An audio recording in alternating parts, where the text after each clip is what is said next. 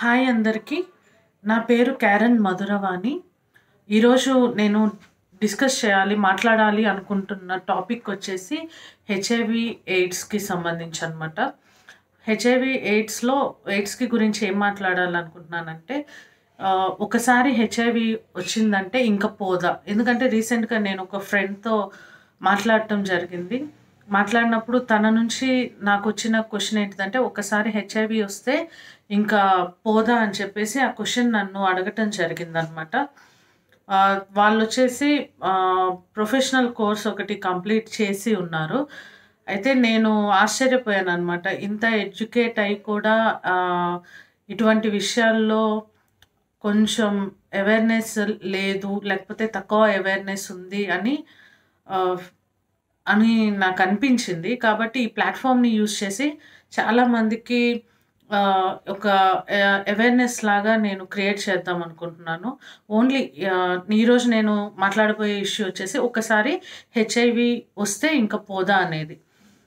ఇది కనుక చూసినట్లయితే ఒకసారి కనుక హెచ్ఐవి వచ్చింది అంటే ఇంకా పోదు. అది లైఫ్ లాంగ్ మనతోనే ఉంటుంది ఇప్పటి వరకైతే దీనికి క్యూర్ అనేది లేదు. పూర్తిగా నయం చేసేటటువంటి మెడికేషన్స్ ఏమీ లేదు. కాకపోతే హెచ్ఐవి ఇన్ఫెక్ట్ అయిన తర్వాత ఆ ఇన్ఫెక్షన్ వచ్చినప్పుడు ఏమవుతుందంటే బాడీలో హెచ్ఐవి వైరస్ అనేది వైరల్ లోడ్ అనేది పెరుగుతూ ఉంటుంది ఈ వైరల్ లోడ్‌ని తగ్గించటానికి మెడికేషన్స్ అనేవి ఉన్నాయి.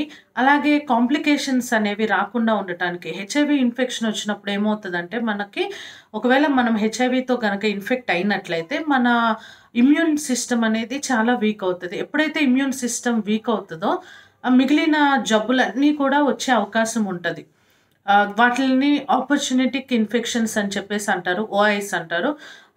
అట్లా ఎగ్జాంపుల్స్ ఏంటి అంటే తరచుగా జ్వర జ్వరం రావటం, తర్వాత స్కిన్ ర్యాషెస్ రావటం, తర్వాత ఇంకొక ఇంపార్టెంట్ ఓఏ ఏంటిదంటే టీబీతో టీబీ బారిన పడటం. ఇట్లాంటివన్నీ ఆపర్చునిటిక్ ఇన్ఫెక్షన్స్ అనేవి వస్తూ ఉంటాయి.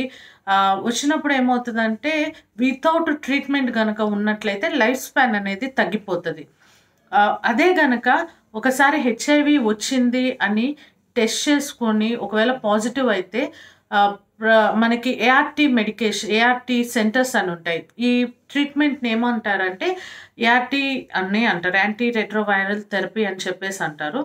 ఈ ట్రీట్మెంట్ మీద ఇప్పుడున్న పరిస్థితుల్లో ఒకసారి మీకు హెచ్ఐవి పాజిటివ్ అంటే ఇమీడియట్గా ట్రీట్మెంట్ మీద పెట్టేస్తారనమాట. ఈ మెడికేషన్స్ కనుక యూజ్ చేసినట్లయితే ఎటు ఆపర్చునిటిక్ ఇన్ఫెక్షన్స్‌ని తగ్గించుకోవచ్చు.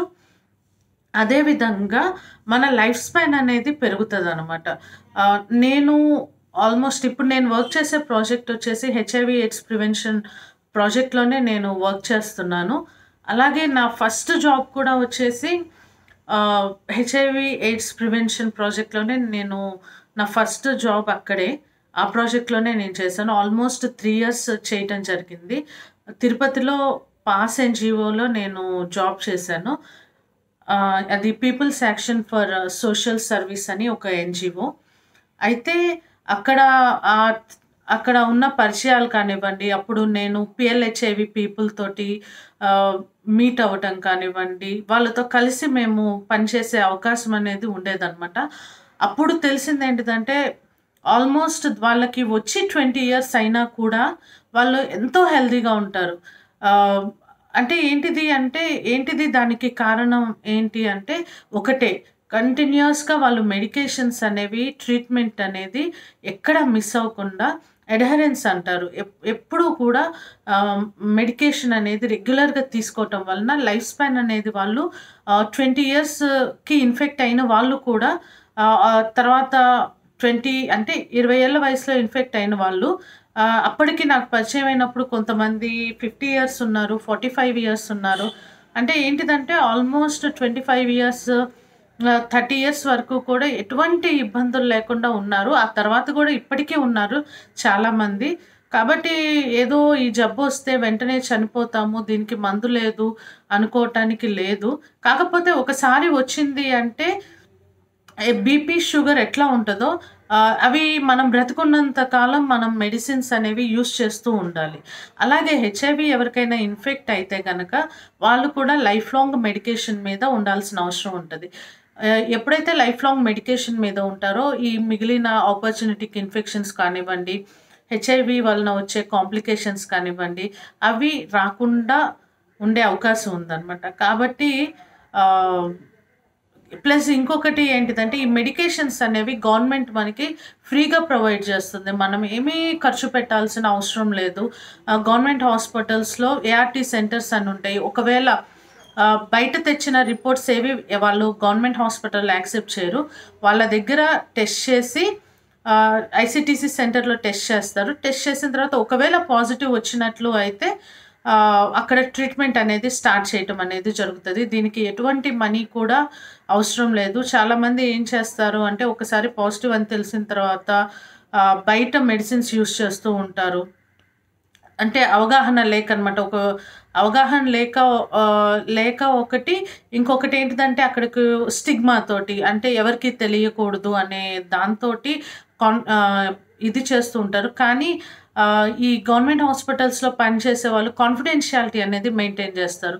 మీకు మీకు సంబంధించిన ఎటువంటి మీ ఇన్ఫర్మేషన్ కానివ్వండి, బయట ఎవ్వరికీ షేర్ చేయటం అనేది జరగదు. ఆ కాన్ఫిడెన్షియాలిటీ అనేది ఉంటుంది ఇలా ఫ్రీగా ఇస్ ఫ్రీగా మెడికేషన్ అనేది దొరుకుతుంది కాబట్టి, అది యూస్ యూజ్ చేయ యూజ్ చేయాల్సిన అవసరం అనేది ఉంది.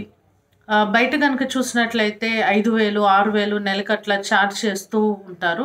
కాబట్టి అటువంటి వాటికి వెళ్ళకండి. ఎందుకంటే మనకి గవర్నమెంట్ ఫ్రీగా ప్రొవైడ్ చేసేటప్పుడు, మనం గవర్నమెంట్ సర్వీసెస్‌ని మనం యూజ్ చేసుకోవాల్సిన అవసరం అనేది ఉందన్నమాట and so, that's all for today. And again ఇంకా ఒక టాపిక్ తోటి నెక్స్ట్ వీడియోలో కలుసుకుందాం. Thank you very much.